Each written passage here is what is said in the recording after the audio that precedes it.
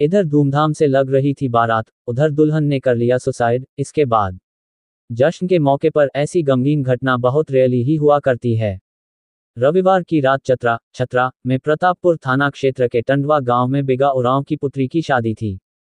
जश्न के मौके पर ऐसी गमगीन घटना बहुत रेयली ही हुआ करती है।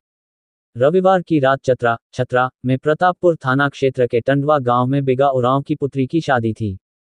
दुल्हन के घर बैंड बाजा बारात के साथ दूल्हा पहुँचा था। बारातियों में जश्न का माहौल था। सभी लोग खाना खा रहे थे। तभी अचानक शोर मच गया कि दुल्हन प्रमिला कच्छप ने जहर खाकर सुसाइड कर लिया है। देखते ही देखते पूरा माहौल गमगीन हो गया। बारातियों ने खूब किया हंगामा। जिस घर से डोली उठनी थी, वहाँ से अर्थी उठी। एक तरफ़ दुल्हन के घर वालों का रो रो कर बुरा हाल था, वहीं बारातियों ने खूब हंगामा मचाया।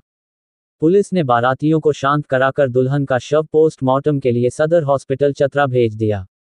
सूचना पर पहुँचे थाना प्रभारी कासिम अंसारी ने बताया कि युवती का प्रेम प्रसंग किसी अन्य लड़के से चल रहा था। परिवार वालों ने दूसरी जगह शादी तय कर दी। इसी से नाराज़ होकर उसने आत्महत्या कर ली। और भी ऐसी तरह तरह की न्यूज़ को देखने के लिए हमारे चैनल को लाइक करें, सब्सक्राइब करें और बेल आइकन ज़रूर क्लिक करें इससे हमारे आने वाली न्यूज़ की नोटिफिकेशन आप लोगों को सबसे पहले मिले।